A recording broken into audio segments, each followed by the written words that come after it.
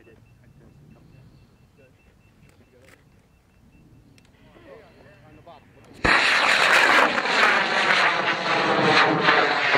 He wasn't kidding, flaming cone of death.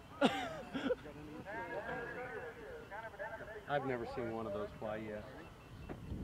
Well, he had, he had fins on it. Yeah, he had fins. Hi, my name is uh, Dylan Brown. This is my father, Bob Brown. Hello. And uh, this is our project. It's a full-scale AMRAAM missile. Um, it's running on a M1939 motor. Um, we're from Santa Clarita, California. And uh, this is our second time we've flown it. Last time was uh, his level three certification.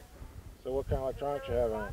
Uh, we have a PerfectFlite altimeter and a uh, missile works altimeter redundant uh, with redundant uh, drogue and main deployments. And when's the main coming out? Main's coming out at uh, 1700 feet.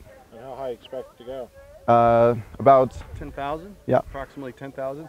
We also have uh, added something this time. We've decided to put a GPS transmitter in there. from a uh, hunting Got dog a- collar. got a It's, a, it's uh, pretty fun. Transmitter. It's an Astro, and we hope to be able to track it with this if it goes over the road.